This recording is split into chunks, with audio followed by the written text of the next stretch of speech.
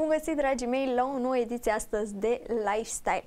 Așadar, uh, un an pandemic a fost uh, acesta, putem spune că facem anul, acum uh, imediat în martie, un an atipic, un an în care s-au sistat foarte multe um, lucruri, printre care și școala, facultățile, joburile oamenilor au fost în pericol uh, și multe alte aspecte. Dar pe lângă toate aceste lucruri negative, eu sunt convinsă că din orice lucru rău putem găsi și câteva lucruri bune, pentru că din fiecare uh, experiență experiență de genul acesta, avem și multe lucruri de învățat și cu siguranță au început să, să iasă așa la suprafață și aceste lucruri bune. Despre mai multe uh, din această perioadă, despre viața de studenție și despre UMC vom discuta în această seară cu invitatul meu, Cornel Paian. Bună seara și bine ați venit! Bună seara, bine v-am găsit!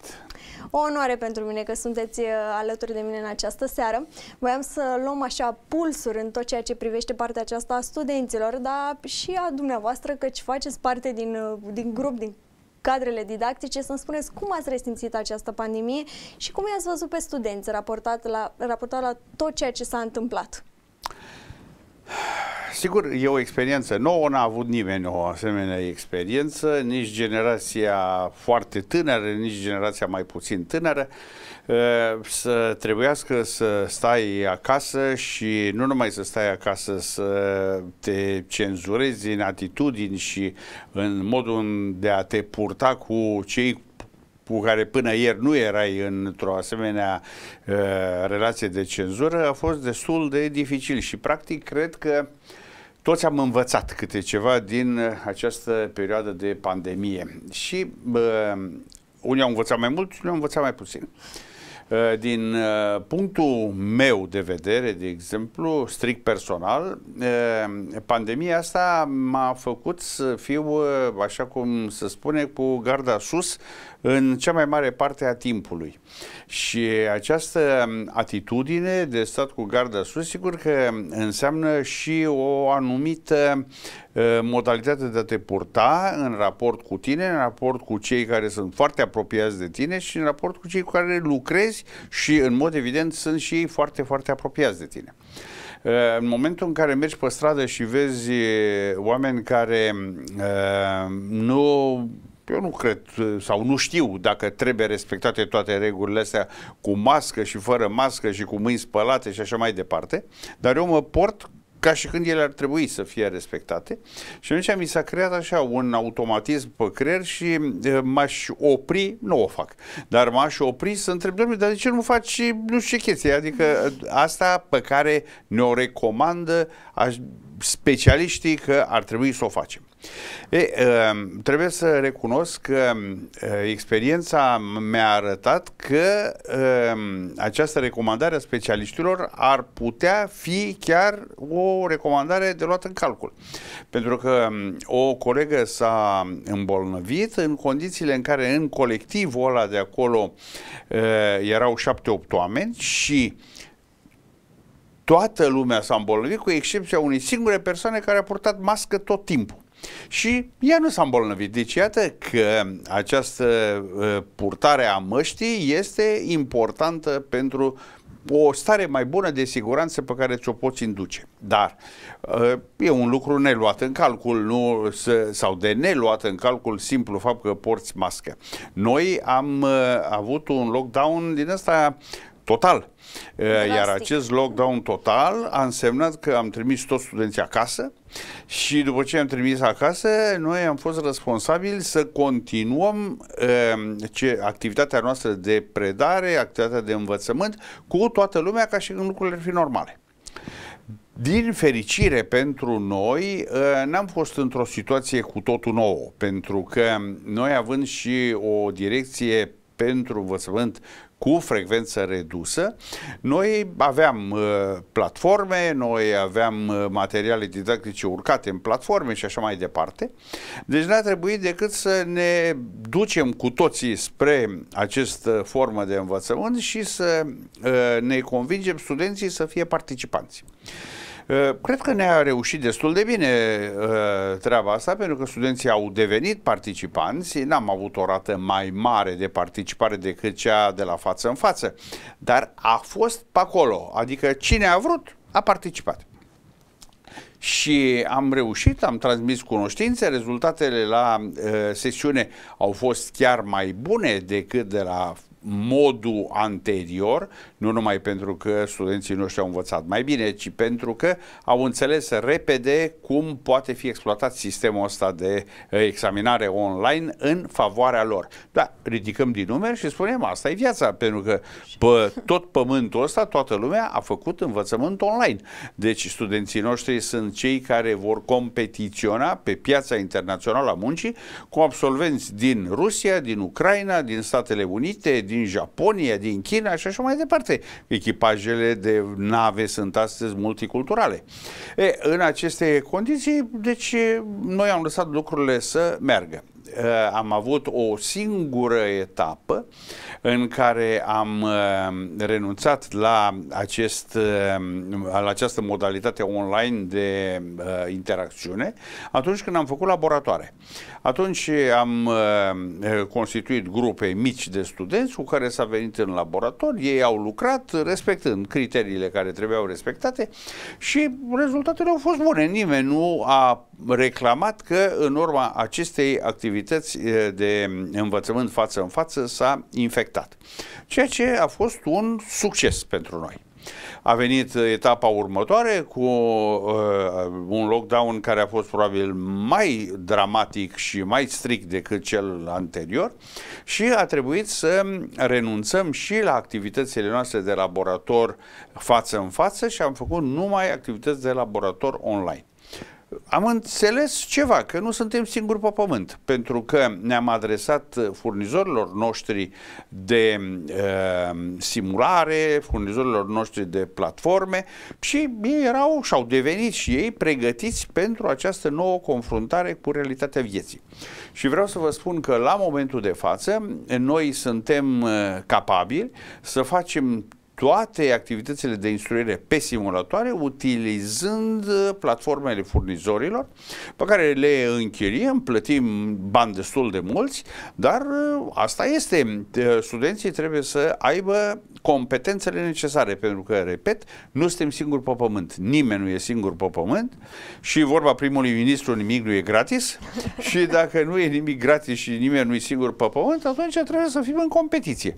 Suntem în competiție, reușim să transmitem toate cunoștințele care sunt necesare studenților noștri, utilizând această formă de pregătire în online. Și văd că deocamdată ne iese. Ați uh, menționat uh, puțin mai devreme că ați fost nevoiți să vă comportați uh, oarecum altfel față de cum erați uh, în mod normal referitor tot la această pandemie și la acest context pandemic, bineînțeles. Cât de mult v-ați schimbat? Oricum i-ați simțit pe studenți, bună oară? Ați simțit oameni mai uh, panicoși, îi vedeați că își scot repede masca să-și o pună în anumite contexte. Cum, cum a fost? Cum a fost? ce se întâmplă? Uh, experiența asta nouă uh, a făcut din toți uh, niște oameni care trebuie să reacționeze brusc la niște stimuli. Ori um, uh, studenții care mai veneau la universitate pentru anumite motive, erau inițial um, nedornici să intre în șabloane. Și pentru că nu erau doriți să intre în șabloane, veneau la universitate pentru temir ce? Pentru o adeverință, pentru ca să-și vizeze un carnet de student, pentru etc. etc. Lucruri care în mod evident îi puneau și pe ei într-o situație de risc și punea într-o situație de risc și personalul de la universitate care venea în contact cu ei. Noi atunci am luat o serie întreagă de măsuri și am zis, nu, toate carnetele să strâng la poartă, a doua zi veniți și le luați, toate adeverințele primim uh, uh, solicitări de la voi și a doua zi veniți și le luați sau vi le trimitem pe e-mail și voi vi le uh, editați și așa mai departe. Uh, pe măsură ce a trecut timpul, lumea a înțeles și cu toții am început să mergem într-o nouă cadență. Această nouă cadență nu e mai rea decât ce era înainte. Din contră, toată lumea se străduiește ca în această societate care se îndreaptă din ce în ce mai mult spre o societate informatică, deci toată lumea se străduiește, să respecte niște criterii. Dar să respecte niște criterii și să informatizezi un secretariat, o, o instituție total, în care hârtiile să mai circule, e o prostie. Și atunci, deci, ni s-a creat această posibilitate ca astăzi noi să nu mai trebuiască să avem hârtii înregistrate peste tot, pentru că avem platforme, pentru că avem documente online, pentru că documentele online sunt mai vizibile decât documentele alea scrise, care au nevoie să stea în arhive nu știu câți ani. Da? Dacă le avem, pare de ce să nu le folosim? Și am zis, hai să le folosim. Și deocamdată le folosim. Deci avem această perioadă pandemică, ă, ne-a fost într-un fel aliată. Am reușit să ă, implementăm o serie întreagă de măsuri care altfel ar fi fost foarte, foarte dificil să le implementăm cei drept legat de această parte informatică, studenții, lor le-a fost cumva mai ușor să se adapteze deja obișnuiți cu platforme uh, de tot felul, site-uri, cumpărături online și așa mai departe. Știm că toate se îndreaptă cumva um, înspre acest lucru și uh, cred că e spre binele, spre binele tuturor. Mai greuț așa cu cei mai, uh, mai în vârstă, care nu sunt tocmai obișnuiți cu tot ceea ce înseamnă acest sistem informatic, dar încetul cu încetul, cred că și ei uh, vor înțelege că tot spre binele lor este. Ne scutezi de niște drumuri în plus, de contact cu mai multe persoane, de tot felul de reacții. Știm foarte bine că dăm și de foarte mulți oameni care sunt într-adevăr panicați. Eu am văzut foarte mulți oameni pe stradă care doar dacă a strănutat cineva, în momentul respectiv s-au făcut așa niște ochi mari și s-au întors. Adică tot felul de reacții de genul ăsta. Vina nu e a omului care se panichează. Vina e a sistemului care la început a transmis o serie întreagă de uh, informații false. În momentul în care transmit o informație falsă, uh, eu văd că vine de la televizor, vine de la un specialist, vine de nu știu unde și zic, domnule, înseamnă că omul ăsta are dreptate. Și fac ce spune el. Și a doua zi văd că deși am făcut ce a spus el, n-a fost în regulă. E, dacă n-a fost în regulă, atunci eu am dreptul să mă îndoiesc nu numai la segmentul ăla de informație pe care mi l-a transmis, ci am dreptul să mă îndoiesc la toate informațiile pe care canalul respectiv de televiziune mi le transmite, dar canalul nu are nicio vină, săracul. Da? Pentru că e omul care e cel mai bun în domeniu sau printre cei mai buni, asta spune și iată că nu e adevărat. Bun, acum referitor la această uh, introducere totală în online, pentru care tinerii sunt mai pregătiți decât uh, cei care sunt cu o vârstă mai înaintată, este perfect adevărat. Dar aici s-a generat cumva o falie în societate și există un fel de segregaționism social în acest moment. Deci, foarte multă lume a înțeles că simplu fapt că poți să intru într-o platformă este apogeul carierei că reușesc să mă fac prezent acolo în platformă. Ori platforma aia n-am creat-o nici eu, nici tu, n-a creat-o nimeni, da? A creat-o o, un grup care după aia o pune la dispoziție și spune asta e. Ce trebuie să fac eu ca să intru în platformă? Să apes pe 5 butoane, știu să apăs pe ale 5 butoane, e ok, dacă nu știu îmi fac pe uh, o foaie de hârtie succesiunea, cronologia apăsatului pe butoane și la revedere. Deci despre asta e vorba. Uh, în momentul în care discut despre această informatizare forțată a unei mase mari de oameni, pentru că în realitate nu o țară, un oraș, o universitate reprezintă mase mari de oameni. Când discut despre această informatizare uh, totală, ar trebui să avem niște rezerve, pentru că omul este un student bun sau mai puțin bun, nu dacă știe sau nu știe să intre în platformă, ci dacă înțelege ce îi se predă în platformă. Un profesor este un profesor bun sau mai puțin bun, nu pentru că știe să intre în platformă, ci pentru că el reușește prin platformă să transmite cunoștințe. El reușește prin platformă să-și facă studenții să înțeleagă despre ce este vorba. Noi la universitate, de exemplu, am pornit de la premiza că nu toți profesorii sunt uh, dispuși sau uh, pregătiți să utilizeze facilitățile platformei. Și atunci ce am făcut? Am creat trei grupe de sprijin cu oameni din aparat tehnic, care nu erau cadre didactice, da? Erau oameni care se ocupă de informatică, care se ocupă de marketing, care se ocupă de asemenea sectoare pentru care a fost nevoie dinainte să existe lucru online. Și acești oameni au venit și au creat grupul de sprijin pentru cei care aveau niște probleme legate de utilizarea platformei și s-a terminat discursul. Deci e o uh, greșeală uriașă să credem că utilizarea acestor uh, mijloace uh, electronice de comunicare, de interacțiune, de uh, achiziție, de cumpărări de nu știu ce, reprezintă apogeul unei cariere. Nu reprezintă nimic. El reprezintă, așa cum uh, reușești să scrii o scrisoare. Până ieri o scriei pe hârtie, astăzi o scrii în online, uh, o trimis pe WhatsApp, o trimis pe Messenger, o trimis pe ce vrei tu. Dar nu modul de transmitere a ceea ce gândești te etichetează total pe tine cu capacitatea ta de a da niște răspunsuri și de a face niște analize. Asta e o mare greșeală, cred, care s-ar putea face și eu uh, aș sfătui pe toată lumea să încerce să fie cât mai bun în domeniul ăsta al transmiterii, al interacțiunii online, dar uh, elementul esențial este să-și păstreze individualitatea, adică să fie el un student bun sau mai puțin bun cum e el, un profesor bun, foarte bun sau mai puțin bun cum e el și așa mai departe. Și să căutăm cu toții mijloace de a ne duce spre o utilizare uh, mult mai bună a tuturor acestor platforme și dacă nu știm noi să întrebăm pe alții și dacă nu reușim să înțelegem ce ne spun acei alții, să-i solicităm să ne sprijine, pentru că, de fapt, noi asta trebuie să facem. Eu am un nepot, de exemplu, de patru ani, care știe... Să vă mulțumesc.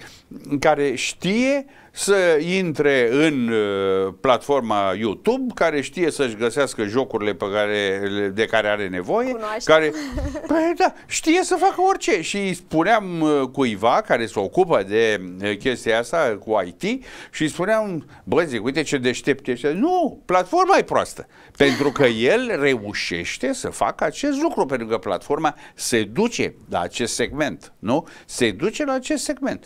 Spotify ce face? E mai bun decât orice CD și decât orice uh, casetă pe care o aveai înainte și îți dă 100 de variante uh, de melodii păi, da. și curgă acolo. Da. Îți și asta înseamnă că ești tu deștept că ai reușit să spui, hei Google, dă-mi-l pe Pavarotti? Nu, nu înseamnă treaba asta. Da, da foarte, foarte bun punctul acesta de vedere, ați menționat și de Spotify. Da, încotro, în, spre asta ne, ne ducem, cu bine, cu rău, acum fiecare își păstrează uh, linia, ca să spunem așa. Spuneți-mi, cum, uh, cum vedeți anul acesta, 2021, uh, din punctul ăsta de vedere al, al studenților, al învăța, învățământului în sine? Ce credeți că va urma și mai ales părțile bune din toată pandemia asta? Cu ce ne am ales bun? Ce am învățat bun? Eu cred că am învățat multe lucruri bune. Am învățat că uh, această uh, urare uh, pe care o făceau, ne-o făceam unii la alții, hai sănătate, uh, da, care era o aiureală, pentru că dacă nu erai bolnav, ziceai, bă, ce nevoie am eu de asta, că sănătatea ți se părea că e un dat de la natură. Această urare este o urare care este absolut foarte necesară și foarte bună. Deci am învățat că este foarte important să fii sănătos pentru ca să faci mai Înainte departe de uh, uh, niște pași necesari și utili. Uh, am uh, văzut o realitate tragică. Da? Am văzut această realitate tragică cu oameni la care nu s-a aștepta nimeni ca să fie atât de loviți de virusul ăsta și să moară. Și unii dintre ei știm și noi, nu ne-am așteptat la ei, erau oameni, fiecare lucrau în domeniul medical, erau oameni care făceau business, care erau destul de sportivi, destul de uh, viguroși. Și iată că li s-a întâmplat. Deci iată că ăsta este primul câștig pe care îl avem, acela al înțelegerii că, uh, într-adevăr, a te ocupa de sănătatea ta este un lucru atât de necesar și atât de util. Doi, am învățat că e, să stai la locul de muncă sau să stai acasă sau să stai, n-are importanță unde, e, și să discuți ore întregi pe același subiect este neproductiv. Da? Pentru că e, neproductivitatea stă în faptul că nu-ți comunici informații. Trebuie să fii tu însuți informat.